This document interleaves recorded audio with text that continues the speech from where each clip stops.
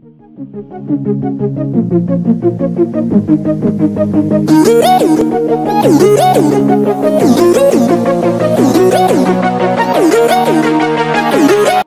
दोस्तों, आज हम मसाला छाछ बनाने जा रहे हैं, जो सर्दियों में अगर आप ठंडी छाछ या नॉर्मल छाछ भी नहीं पीते हैं तो आप इसको जो है कुछ इस प्रकार से मॉडिफाई करके पी सकते हैं, जिससे आपको सर्दी जुकाम की बिल्कुल भी दिक्कत नहीं होगी। तो इसके लिए हमने कई सारे मसाले लिए हैं और करीब डेढ़ लीटर छाछ ली है और एक कढ़ाई चढ़ाई है, जिसके अंदर आपको थोड़ा सा जो है देसी घी गर्म करना है।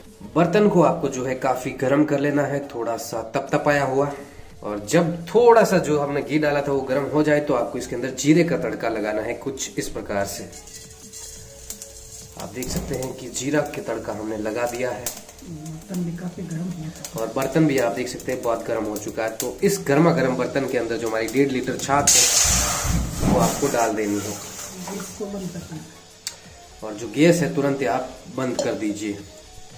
इस बर्तन की जो गर्माहट है उससे आपकी जो छाछ है वो थोड़ी सी नॉर्मल गर्म हो जाएगी और बहुत ही शानदार पीने लायक हो जाएगी।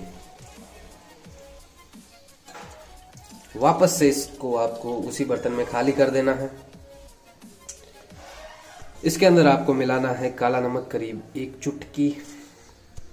पिसा हुआ जीरा हमें डालना है, आप देख सकते हैं। करीब एक से दो चुटकी।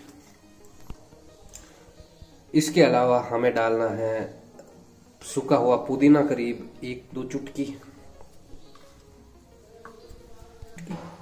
थोड़ा सा हमें डालना है साधारण नमक, एक चुटकी, हमारे पास जो है भुना हुआ जीरा है थोड़ा सा वो भी आपको डाल देना है। और इन सभी मसालों को आपको इसके अंदर जो है अच्छी तरीके से मिक्स कर देना है। और पिक्चर मत बोलते